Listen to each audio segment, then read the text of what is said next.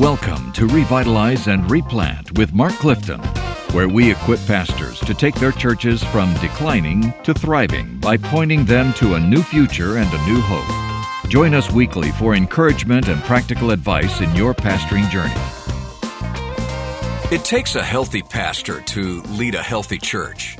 And on today's podcast, we're going to explore how you can become a healthier pastor, husband, dad, and follower of Christ. As a pastor, you face daily demands of hitting targets in every area of life, whether they be personal goals, daily goals, and long term goals for your ministry, and so on. And along with that come the expectations that you place on yourself and, and that others place on you. It's no wonder burnout is a real thing. So, how are pastors ever supposed to finish well? Well, in his new book, Start to Finish, Mark Dance helps ministry leaders find guidance to run the race well from start to finish. Mark Dance is the Director of Pastoral Wellness at Guidestone Financial Resources. He served as a lead pastor and church planter for 27 years before launching Lifeway Pastors and the Care for Pastors Network. And he is our guest today, here to talk about what you can do to stay healthy mentally, emotionally, physically, and certainly spiritually, and how that impacts your ministry. So, Mark Clifton, say hello to Yes. Mark Dance.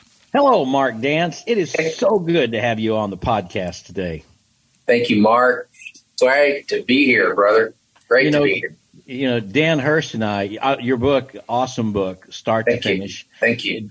Dan Hurst and I have written several books. One of them, our most famous one, was "We Have Yet to Finish." That's the name of our book. So, almost, this one was should have been subtitled "Almost Finished." almost finished. well, "Finish Last" was the other book that we did. We just did that. Oh, Dan and I, Dan and I go way back. We uh, we've been to college together and stuff. Our dads were roommates in college together. His dad Wow. was a IMB missionary back in the day. My dad was a pastor, and Dan and I went to college together. We started a lot of businesses, and we didn't finish any of them. So uh, we, we, we, we're We- seeing if this podcast gig will work out for us. But we're grateful to have Mark Dance with us today. Man, I'll follow you on social media and, and uh, all kinds of places. Wherever you go, good things happen. You're a tremendous encourager. And Dan began this podcast with what we say all the time it, it takes a healthy pastor to lead a healthy church. And uh, I think sometimes pastors, I know I do, I, I spend a tremendous amount of time caring about my church, caring about my church family, worried about my church, working toward my church, and not near enough time in self care and, and caring about myself. And so, uh, man, I appreciate your book, but you've also just been around a long time. I mean, Oklahoma and and at Lifeway, and as a pastor, and now at Guidestone. So you've got and you've got your finger on the pulse of pastors around North America. So I want you to take a few minutes and, and just tell us some of the major struggles you see pastors encountering uh, right now in this day and age and climate in which we live. What do you see out there, Mark? Yeah, well, thank you. I'm, it's uh, I love what you do also, and anytime we can do things together, it's a blessing. You know, when I ask pastors, sometimes in some settings to pray together, one of the things that comes up is I see on this screen right now. They're asking, first of all, the most consistent prayer request that I get from pastors is, "Would you pray for my kids?" Okay. And right now, yeah, I'm a DK. Uh, there's an M, you you know, you're an MK, you're um, a, a PK. So this is the trifecta of you know preacher's kid, missionary kid, deacon's kid, and and you know our dads. One thing they had in common, even as a deacon's kid, was the same job description in First Timothy three. It says all the things that look for in a pastor, and likewise deacons. eh, Other than you don't have to speak, but but your your your wife and kids are in there, and the word manage is in there twice. To to manage or to lead is translated as lead in Romans twelve, the same word is to you've got to lead your life before you're even qualified to lead the church in any capacity. So it all starts with self leadership, which is ultimately under the lordship of of Jesus Christ. And that's where that's where pastors get sideways. It's usually not over sometimes it's usually not over theology. It's not usually over polity. It's it's over you know, relationships and character and spiritual fruit. And so when, as you mentioned, self care is is it's the it's the subject really of my ministry in this book is to help pastors to take care of themselves, not for selfish reasons, but for strategic reasons. Our experience has been that pastors, especially bivocational pastors, pastors of single staff churches, well, all pastors, but that's that's sort of the lane we run in, Mark. Uh, right. Uh, man, they are they are really busy. There's never an end to what they need to do. You know, my dad and and and Dan's dad, and probably your dad, but as pastors, as deacons, as missionaries, um, they didn't they didn't have the expectation that they should be on call 24 hours a day because they didn't have an iPhone in their pocket. They right. didn't have uh, total access to the pastor through text, through email, you know, 24 a day. It's like if you get a text, the church members expect you to respond to that text, you know, within a very short amount of time. You know, our our dads, you know, they had a phone at the church, right? And they could leave the church building, right, and uh, and go back the next day, maybe answer the calls. I know we we didn't have an we didn't even have an answer machine at our house when I grew up. We, those weren't invented yet, and so and people were pretty gracious. They never really called you at home, you know, past nine or ten o'clock unless it was an emergency.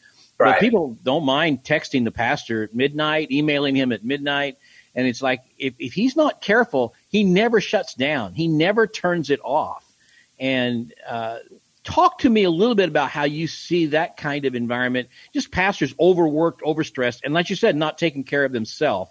Um, so, what what's some insight you can give us on how to take care of yourself? Obviously, your book is really amazing in that point. But let's say you've got a group of pastors sitting right here who are really stressed and tired and overworked, and their family is strained. What's some of the first things they can do, Mark? Well, that's part of managing. It's a great question. It's part of managing your life. It's managing your time and creating boundaries for people. And God's word, this is old school. I don't have any. I don't have any new answers here.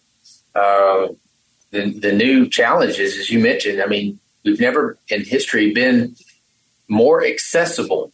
Ministers have, and subsequently more vulnerable. Yet we are the ones responsible for managing our lives and these boundaries, protecting ourselves, protecting our family, even protecting our ministry.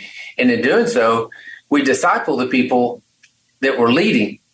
And it, the Bible starts off telling us the secret to marriage is to demote people, right? Genesis 2. You want to, if you want to cleave, you got to leave, right? right? You got, you got to break up with your parents at the wedding. And then uh, after that, you're going to have kids. They need to be demoted or they're squatters, right? right? Eventually, and then um, it never says stop loving your parents or your kids. In fact, the second greatest command comes from Leviticus 19, and one of the first applications is to honor your parents. That's in Leviticus 19. But our church members need to be demoted. That means they don't need to get an answer. As you said, back in the day, you call somebody at night, weekend, or something like that out of the norm it's they, they probably have a real emergency. Now right. people re- reach out for things that aren't even remotely be defined as an emergency. And when we when we feel like we have to get back to them right away, I think we we enable them. And and when we wait or are more judicious about it, we we disciple them. And oh. we teach them because everybody that we serve is also looking for the balance of life and work and if we model it for them, we disciple them and teach them how to prioritize the people that God tells us to prioritize. Wow, Mark, that's that is really really insightful. I hope you guys heard that. Um, Dan, flag the tape, and we'll we'll replay that sometime because you know I know in my own pastors are people pleasers, right? We're just wired to want to please people. Now, obviously, that's a that's a, a black hole because you can never please people, and right. you always feel like you're not living up to standards. But that's who we are. And you know, if if some dear lady texts us and wants to know about something in her Sunday school class that she doesn't need to know about for a day or two, but she texts us on Saturday night, we feel obligated to get back to her right away. And you're right, that is enabling that behavior. I never thought about that, Mark. We're and what we need to do, as you just said so wonderfully, we got to model for them boundaries and and disciple them in that. But that takes Mark, that takes a very confident pastor to do that. That's and true. That takes a pastor who's healthy. And if you're not healthy emotionally and spiritually and even physically, I think you're going to be far more prone to give in to those sort of urges to please people because you don't feel good about who you are. Uh, I think that has a lot to do with it. That's really, really good insight. Talk Thank to me you. a little bit about the book. What motivated you to write the book, and what can your readers expect when they when they take a look at it? Well, the the book came from a challenge by a peer at uh, at, at Lifeway when I I used to work there. Uh, Lifeway pastors got to start and serve that that ministry, which helped me uh, do what I'm doing now with seminaries and state convention associations, etc. And when I was talking to B&H about writing a book, the VP of B&H at that time, Selma Wilson, Wilson said, your first book needs to be about your core message. And so that drove me to, okay, what's my core message? And it didn't take me long to realize that Jesus had already kind of defined that for me when um, I, I spent I spent several years ago, about 15 years ago, I spent a week in a cabin with fasting and praying, juice fasting and praying, just seeking the Lord and reading the Bible. And the Great Commandment came alive to me. I'd heard it, read it, taught it. Everybody knows it. Described it when he asked Jesus what the greatest command was. Everybody did. They said it every morning and evening, as did their parents and grandparents. But the first, the, the, the words first and greatest or megos protos, that that absolutely was a face mask moment for me. It was like everything came clear. For 20 years, I've been pastoring churches, aspiring to be a Great Commission pastor. That was my goal. And by every earthly standard, that was working. Church growing, baptizing, whatever. And you get lots of applause for that stuff. But I'm hearing Jesus quote Moses saying, Your first priority is the most important thing you'll do today and tomorrow and the rest of your life is to love me. Right? And then, you know, the second thing, not just second in order, but in priority, love your neighbor and, Right. you know, which means nearest one. And I looked on my calendar, Mark, and I was like, hmm, this doesn't reflect a great command. I want, I think I want to aspire to be a great commandment pastor because Okay. I realized I've never met a great commandment pastor that wasn't a great commission pastor. Okay. But I've met a whole bunch of great commission pastors that weren't great commandment pastors. They were getting stuff done, they were changing the world, but they were arrogant jerks, right? and Oh, so, I mean, and I've been that arrogant jerk. And it's like, you know, I'm going to focus first part of my day. 'cause- And so I, I stopped having morning breakfast meetings and stopped working out with a friend in the morning. It's like, you know what? Jesus says, I'm first. There's nothing unclear about that. And then neighbor, that starts, with, you know, nearest one to me is Janet. So he made it super easy for me. Jesus and Janet are my king and queen. These are my Okay. first and second love. And if if if if either of them are upset with me, I don't care how much applause I get in my ministry. I'm my world's upside down. But if I'm good with Jesus and Janet, honestly, I don't need the applause as much as I used to. That's great. So the book came out of that conviction and that moment, that face mask moment. And so the first half of the book focuses on the first commandment. And so there's a chapter on heart, chapter on soul, chapter on mind, some about strength, you know, uh, loving God and how the it, how integrated that is to defining what a healthy pastor really is, is a great commandment pastor, in my opinion. And then the second section the last section is about Great Commission. It's the, it's based on love your neighbor, which is basically the Great Commission. And so um, we talked about the, the the concentric circles because even though everyone is equal in God's eyes, we're not God. So everyone everyone's not supposed to be equal in my life. Janet, after Jesus, is next in line. And if if I put Janet in front of Jesus, I'm out of order. If I put the kids in front of Janet, out of order. You know, right? And, and et cetera, et cetera. And I'm supposed to love everybody, even my enemies. And you know all this stuff. Actually, everybody that reads this book already knows this stuff. We're just honestly reminding them of what they already know to do and, in, and emboldening them to do it. Because, like you said, you're exactly right. It takes courage. It takes courage to, to, to take Sabbath seriously and and to stop every week. It takes courage to not be the solution to everybody's problem. Yep. So that's what it's about. Well, that's what it's about. Then that's what everybody who's listening to this podcast needs, including me. Um, I'm I'm like 120 years old right now, and I've been doing ministry for a hundred years. My dad was a pastor. My great granddad was a pastor. I've lived my whole life in the Southern Baptist ghetto. Uh, I, I, I, crawled over the wall a few times and, and came back in, but. Uh, so I, I know the culture of pleasing people, of trying to be all things to everybody. You get a lot of affirmation for that, Mark. Yeah. Oh, brother so and so, he's always here. He never forgets anything. He always gets back to me. You want to be that, but at the expense, as you said, of your primary relationship to our Lord and your relationship to your wife and children and to your own health, it's detrimental. And we all know that if if Satan uh, doesn't get us to do wrong, he'll get us to do right in a wrong mm-hmm. way. I know that's bumper sticker, but it, it is true actually. Yes. And we have to constantly be I love what you said. I never really put my mind on that, that it is the great commandment uh, and and that will lead to the Great Commission. And you're right, as Southern Baptists, we jump to that Great Commission constantly, and uh, we even value pastors who, like you said, produce. We talk about that a lot on this podcast. Um, you can produce a lot in a church, and then you can leave that church and it all fall down because basically it really wasn't ba- built on much but your personality and your yeah. work ethic. Um, and so that's that's another issue. But this is a great book. We highly commend it to you, start to finish. It'll really help you do these things that we talk about on this podcast a lot. Prioritize your life, uh, get it ordered in a way that you can be healthy over the long term. We talk a lot about not being a a sprint, but a marathon, and that's what ministry is. In fact, Mark, we our mantra here is in revitalization: you preach, pray, love, and stay. And uh, you can stay when you're healthy and when you're in a good place. Um, but you travel all over the country. You speak to pastors and their wives. Your wife also does that.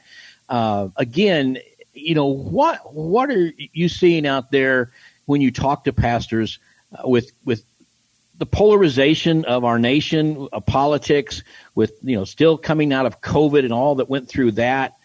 What do you what do you talk? We always want to ask our guests what are they seeing. We what what are your what are your eyes seeing? What are your heart? What do you see among pastors? uh, when you're out there as much as you are? Well, I think the what I see the most uh, in terms of challenges, uh, I see fear sometimes. Okay. Fear, fear of of failure. Mm. Sometimes can be a healthy fear. You know, you want to be afraid to to blow up your life. You want a healthy fear of, of doing something stupid, but um, sometimes the the fear of of being isolated. Mm-hmm. And and honestly, that's the most avoidable one because I, I, I tell this to, to, to pastors and wives when we when we do events together, and really about half of the events I do are, are primarily sponsored by the North American Mission Board. I'm doing it for state conventions or whatever. You guys have been really shucking some corn here when when it comes to putting your money where your mouth is. If you want to help a pastor finish well, then you're going to help um, the pastor's wife as well. And Kathy Litton's been doing that phenomenally uh, for a long time, and sometimes we get to do that together. But w- w- when when Southern Baptist, if you're Southern Baptist pastor or planter, and I've been both doing doing this, just know that you're not just part of the biggest family and that, you know, we're not summarized by our, our latest resolution. We are, for years, we have people locally, nationally, regionally that would fall, we would fall over ourselves to help you if you ask. Yeah. And no, so, I, no, you're right, and I don't mean to interrupt you there, but but I, I just wanted to affirm that but you have to ask, Mark. That's right. That's right. I talk about in the book my my challenge with uh, clinical depression about almost 15 years ago in the middle of a relocation of a fairly large church, and I I looked fine on the outside. And my doctor diagnosed me, and a week later, uh, a therapist diagnosed me separately. She diagnosed me from the pew. Both were church members.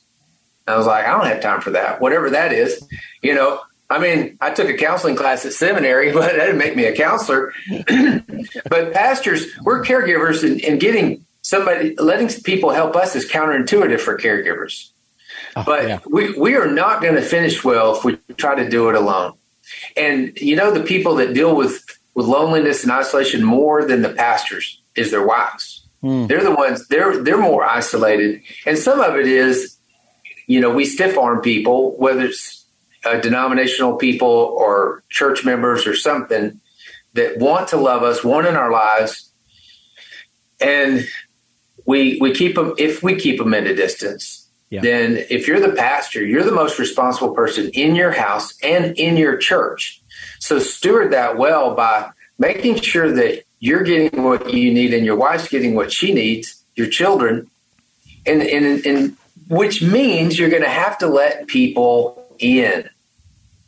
And so loneliness is one of the most avoidable things, especially in the Southern Baptist Convention, because we've got them everywhere. You guys have ambassadors and catalysts and events and guidestones there when, you know, when I'm there and Hance and others. I mean, uh, it, it, the state convention associations, so many Southern Baptists have been rallied to not just help you start well, but to stay well and to finish well. And so if you're struggling, and you probably are at one thing or another, it might be mental health, might be spiritual health, might be physical health, let people help you. It's okay. It's not just okay, it's it's strategic. Self-care is strategic. It's not selfish. And Paul told Timothy twice to take care of himself yep. first. Yep. First, first in, in Acts 22, he says, pay attention to your life and your flock Yep. Or guard, you know, depending on your translation. And is it, and, and then in his follow up letter, that was the last time he saw him face to face. And then follow up letter, First Timothy four, he says again, pay close attention. Yep.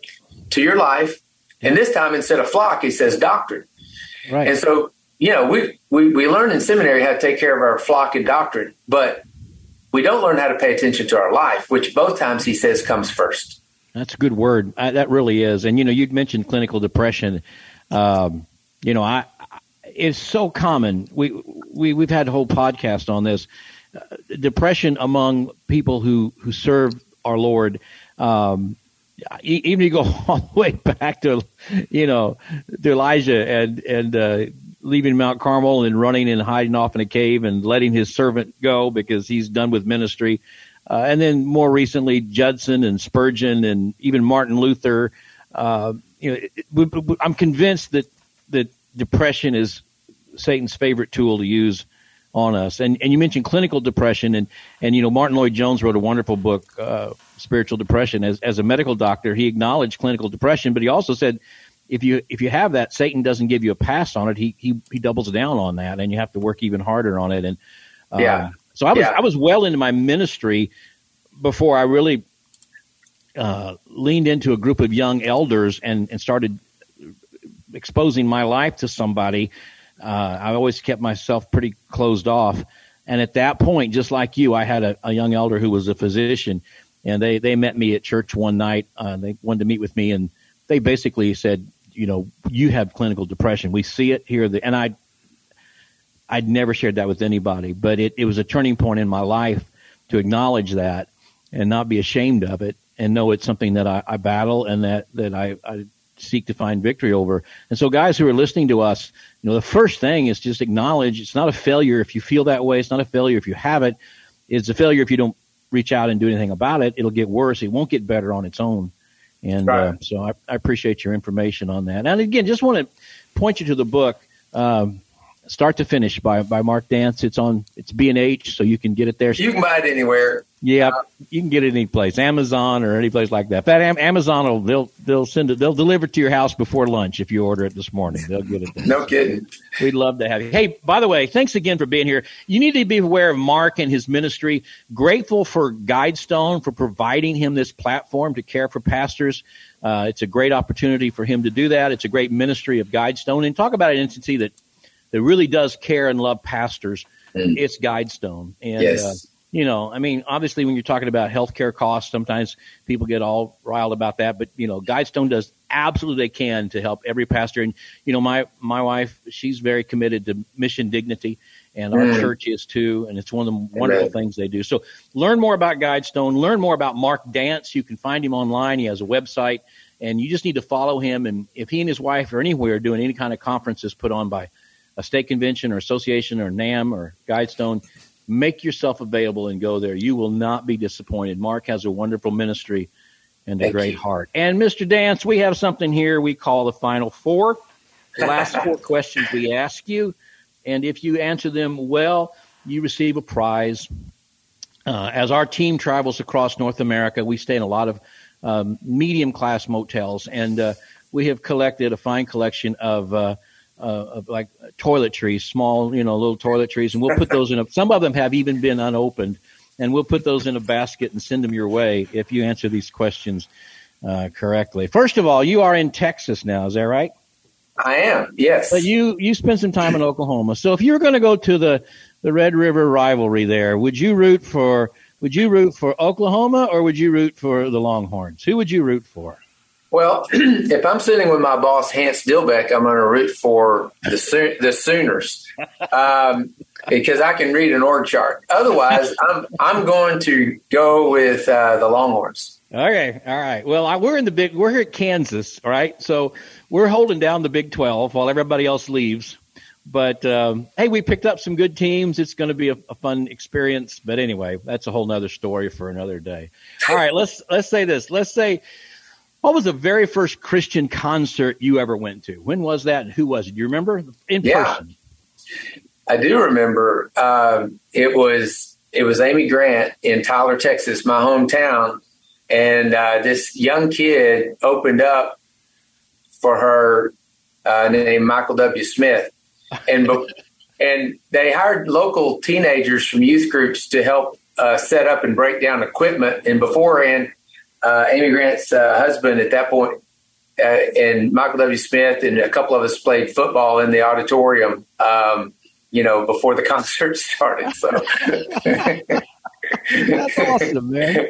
Yeah. Hey, that's a real vivid memory in your mind. There. It was. It was fun. You know, yeah. You know, she had her father's eyes. You know that. she did. yeah. hey, wanna, and then let's say this. Let's say you're going to have to go on a on a transcontinental air flight, and you have to listen.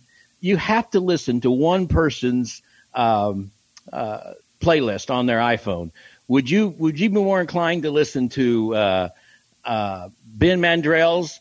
Uh, Kevin Ezell's or Tom Rainer's? Which do you think you'd be more inclined to listen to? Oh, I'm gonna I'm gonna have to go with Rainer on this one. Oh. Uh, yeah, because I really um, I really love '70s music, yes. and I think he does too, if I remember right. Oh man! Yes. But I I love I'm an '80s kid, but I I love '70s music. That's what I listen to all the time. Yeah, he yeah. does, man. We we would do podcasts, and he would have his little Siri there or whatever, and and between podcasts, he'd say, "We need to get some energy going here." And so he would ask Siri to play something from the '60s or '70s, and then he would tell me all about that group and who they were and what they did. And, oh yeah, so, yeah. He's like he got a Pentium processor in his in his head of some type. He's, he's so so intelligent.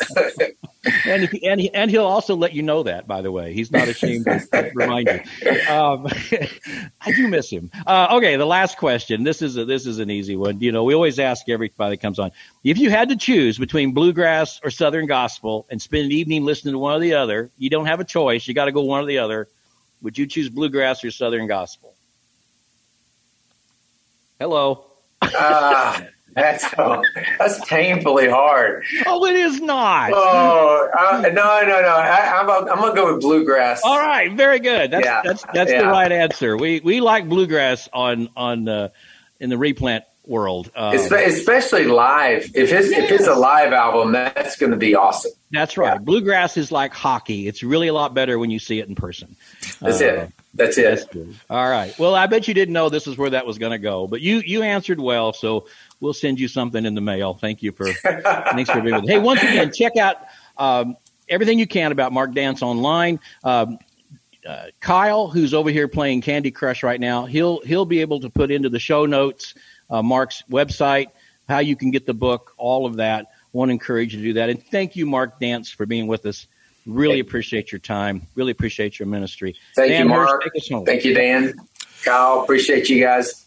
Y'all press on, man. Your ministry matters. It really does. Thanks, guys. If you listen to our podcast on a platform that allows you to subscribe, please do so. And if you are given the option of liking the podcast, please, please click that. All of that helps us to market the podcast and get the word out about what we're doing. A big thank you to the North American Mission Board for sponsoring this podcast and making it possible. We're grateful. And by the way, uh, we're looking at some options to make the podcast more accessible and useful for you, uh, ways that we can communicate more effectively, whether it be a Facebook page or a web page maybe posting Mark Clifton's personal phone number, stuff like that. Uh, so if you have any suggestions, uh, please let us know and join us again for our podcast of Revitalize and Replant with Mark Clifton. And we would even come over to your house and do the podcast live in your living room if you would uh, feed us a meal. Well, we, it depends on the snacks. I mean, let's be it honest. Does. All right. Yeah. Thank you, guys. Thanks for joining us today on Revitalize and Replant. This podcast is brought to you by the North American Mission Board, where we help dying or struggling churches regain health for the glory of God and the good of their communities. If you found this conversation helpful, don't forget to subscribe to the podcast on your favorite platform. To learn more about becoming a replanting pastor or to explore resources about revitalization for your own church, visit churchreplanters.com.